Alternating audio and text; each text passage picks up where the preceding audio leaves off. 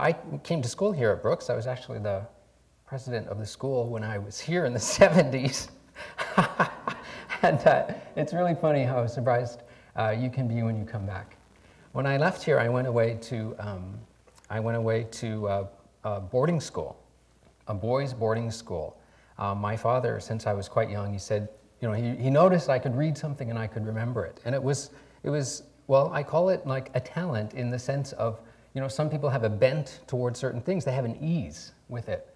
Just like I was short, it, it was really not meaningful to me in any, in any way. It just, it, it just was something that was. Uh, but I had something that I, I call also the Great Red Hope Syndrome. Any young person with a bit of promise, particularly if you're uh, First Nations, uh, people say to you, you have to get an education and you have to help the people. I kind of understood that. I understood helping the people because where I came from, I, I had a really wonderful, beautiful elder who, who's now passed on. And she used to tell me about a time before there was school, before there were schools like, like this one. And she would say that in the morning, her education was to be sent out to be with this woman over there to help her with her children, or to go over there and to get water, or to go over there to cut some wood. That there was nothing to do, there was nothing to do but help the people. And I, I understood that, I heard that. And I was lucky enough to have a father who loved to be on the land. In fact, in fact, uh, he grew up in the bush. It was a time of residential school. Aboriginal people weren't allowed to raise their own children. And uh, he grew up in the bush with his grandmother. And he had lots of skills and resources that others didn't have. It was a kind of wealth. But I thought we were poor. I wanted to sit on the couch and watch TV, what I thought the other boys were allowed to do. When my father married, uh, my mother went to residential school and she went to grade 12. She was there actually for 15 years, starting from when she was three years old because her family members had tuberculosis, so she went to a TB hospital near the residential school. And when she came home and they married, she didn't know how to make fish head soup, which is my father's favorite dish. She didn't know to cut the gills out.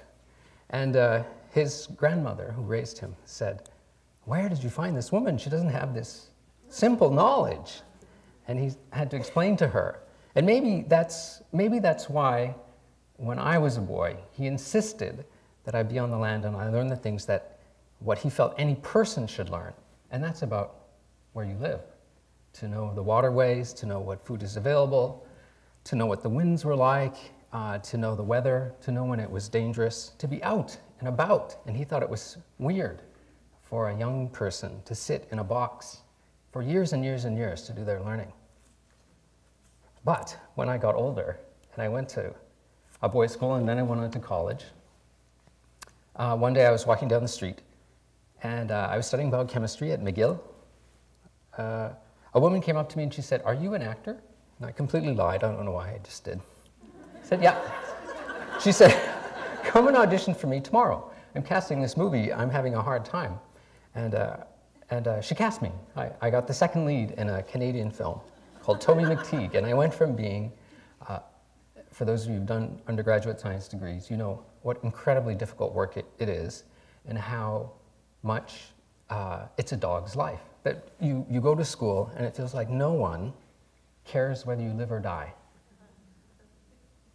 And suddenly I went from being living a dog's life to living a very glamorous life, making $5,000 a week, in 80s dollars, $5,000 a week, making a movie, and I, I got bitten by the bug. I thought, okay, enough of this academic stuff. let's, um, let's make movies. so I worked for a long time. I made over 200 shows. But when I was about 29, uh, I had seen a really beautiful, wonderful, older Canadian actress um, playing King Lear, a woman playing the, the male role of King Lear in, you know, in a Shakespearean piece, and how she would drop lines occasionally because her, her memory wasn't amazing. It wasn't, it wasn't word perfect.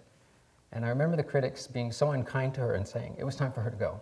And I thought, if if I live that long, when I get to be that old, that's what will happen to me. One day someone will say, well, thanks very much for 50 years of service, but you've got to go. And I, and I thought, well, I have this other dream, And I have this best friend who's a doctor, and she said, Yeah, you're smart enough to be a doctor. If that's what you want to do, then you should do that. You can do that. And we should all have someone who believes in us. Uh, so I applied to medical school. And I remember I was here in Sliammon, even though mainly I was living in Vancouver, I was here in Sliammon uh, for the summer. My, I was working in the garden with my dad, and the medical school called after all my interviews. And I, I took the phone and I said, hello. And it was uh, one of the staff from admissions, and she said, Evan Adams, you're going to be a doctor. We've accepted you into the class of 2002. And I turned to my dad and I said, Dad, I'm going to be a doctor. And he said, Oh, pass me that hoe. my dad's up there. That one's for him.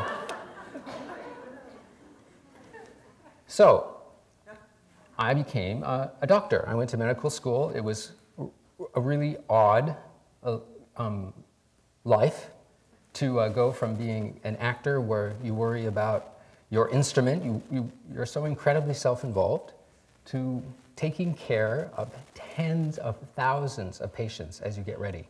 Tens of thousands of patients you look after before they let you actually be a doctor. So medical school was difficult, and I kept working. I did over 40 shows uh, while I was a medical student, um, including one called Smoke Signals, which is um, the previous slide. That's a, that's a, um, a picture from Smoke Signals. I hope some of you have seen it. Actually, when I, it, this came out the same uh, weekend, I started medical school. So I missed a lot of, uh, I missed a lot of the uh, hullabaloo around the opening of this. Uh, it won uh, the audience prize at Sundance, which is one of the largest film festivals in the world. It won Best Director. We made top 10 lists in the New York Times and the Chicago Tribune. And uh, uh, it, it, was really quite trippy. Everyone should be in a hit movie. It's, it's a lot of fun. and, and one day, um, while I was um, on service as a medical student, um, I was uh, helping to deliver this baby. Uh, actually, I was supposed to take the baby. It was a high risk delivery. The mother had been laboring for a long time. The, the obstetrician stepped out. I was there to receive the baby. Baby was coming. The dad was freaking out. And the, and the mom uh, was an Aboriginal woman. Now, Aboriginal people are only one, sorry, one in 25 people, roughly, in the country. So most of my patients were not Aboriginal people. She, but um, she came up to me many, many months later in the street and she said, Do you remember me? And women in the midst of labor look really different than they do six months postpartum.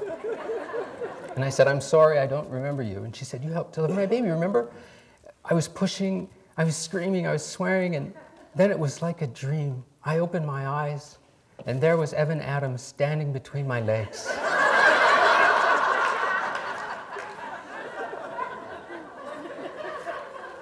but I became a doctor. and I remember I was trying to leave because the BBC offered me a miniseries playing a caveman of all things. well, actually, it was an Indian who was crossing the, the, uh, the Bering Strait, the bridge, the land bridge. And uh, I wanted to do it. I thought, oh, this sounds like fun. I went once again to my dean and said, Can I go? And he said, No, of course you can't. You have to finish school. I've let you out many, many times. I said, But how can I say I turned down a BBC miniseries so I could read a book? And he said, Well, being a doctor is a chance of a lifetime, just like being in a movie. And you have to do this if you're going to do it now.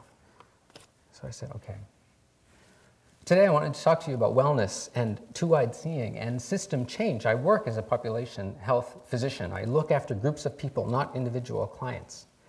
These two masks to me represent two-eyed seeing or having your feet in two different places. It represents dichotomy or binaryism, the fact that most of us are pluralistic. We're more than just one identity. We don't just want to be a good wife. We also want to be good at our work. We don't just want to be beautiful, we also want to be strong. We don't just want to be creative, we want to be sincere. We don't want to just be famous, we, we want to be known for having some skill. So the idea of two-eyed seeing and in this case, I'll, I'll explain it. It's about having a, a, a cultural focus that's binary. Um, I thought that these images were really quite important to us. These masks are, are most probably Nisga'a. The closed eye mask, sorry, the open eye mask lives in the Louvre in, in Paris. The closed eyes mask lives at the Canadian Museum of Civilization. Uh, they were collected in the late 1800s. Uh, one was, open, uh, one was collected by William Duncan. The open-eyed mask was collected by William Duncan, who was a missionary in Metlakatla. The other was collected uh, by Israel Wood Powell, the Deputy Commissioner of Indian Affairs for BC. And you've probably heard his name, like in the name Powell River, because uh, our river where our people used to live was named after him. So these masks were meant to be danced together. No one knew this until 1975 when they were brought together by accident. They were meant to be danced together, and the dancer who was moving with the mask would, would um, lift up his blanket and switch the mask, and it would look like the stone mask was blinking. So these masks were meant to be together, and they represent to me perhaps some things should be together, and it's not quite obvious to us. This um, slide also represents dichotomy to me. This is Savary Island. You all know Savary. I've only caught um, the undeveloped side. Half of Savary uh, belongs to Sliammon First Nation. Half of Sliammon um, belongs in private hands. And uh, on one side, as you know, has, well, both sides have incredibly beautiful real estate, but one side is undeveloped and the other side is completely developed and they represent dichotomy. One side isn't necessarily better than the other. Maybe you have an opinion on which side is the better side, but it's really just an opinion. One side has infrastructure, it has people, it supports the population, people can go there and visit. The other side is beautiful, it's untouched, but no one lives there. There's no running water, there's no septic. You can't really stay there you know, unless you're a real old-time Indian like my dad, and you can live on the beach with a knife and a coat and a pair of matches. but the world that we live in is um, the world that we live in in British Columbia has Aboriginal people, and we know that Aboriginal people's health is terrible. And this is the work that I do now. I went from worrying about my TV hair to looking after 200,000 Aboriginal people who have the worst health of any ethnic group in the country. So Aboriginal people went from owning everything to owning almost nothing and being at the bottom of the socioeconomic and wellness index. And that's partly, partly due to history. What's really important about this, though, and because I'm, I'm, not asking you to care about all populations, uh, that's my job, because lots of people don't care about all segments of the population. For instance, the prison population, lots of people don't really care about them. We just issued a report from my office around the health of prisoners, and we know from hearing from other British Columbians, they really want punitive measures rather than protective measures or rehabilitative measures or reintegration measures for those prisoners. But the most important thing about Aboriginal people's health and why we should care is that it's actually immoral. It is immoral for any racial group within a country to have better health than another racial group. And we should fight for equity and for equality.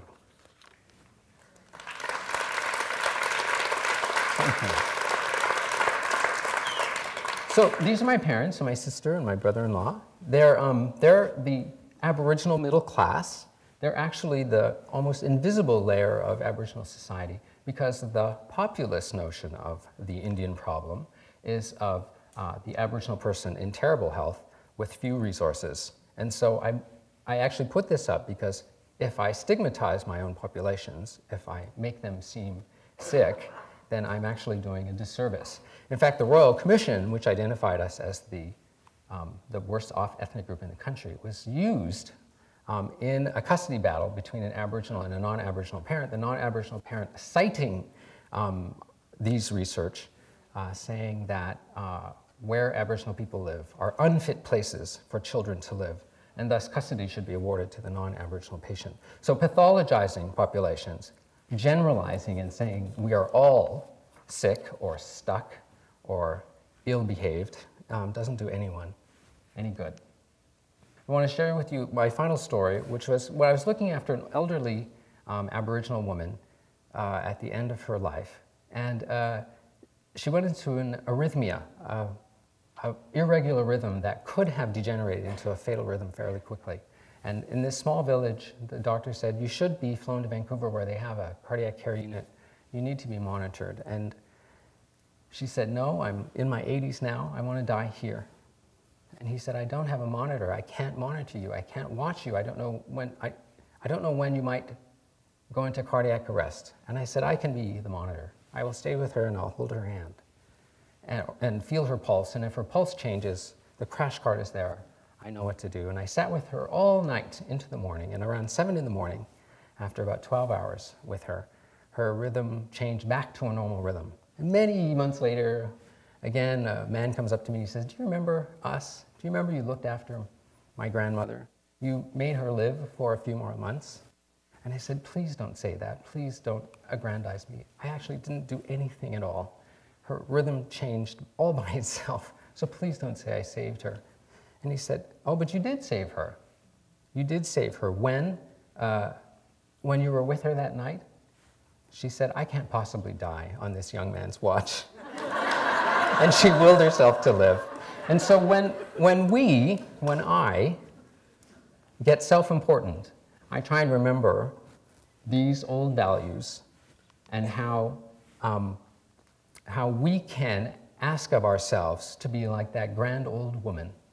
The point of the exercise is not to be powerful or to, ri- to be rich or to protect our ethnic group from others. The point of our lives is actually to do good things, to do the very best for ourselves and for others. Thank you very much.